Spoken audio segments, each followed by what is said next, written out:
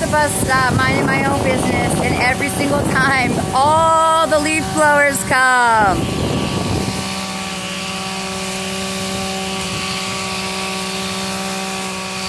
All at the same time. That would be the Kauai Department of correct.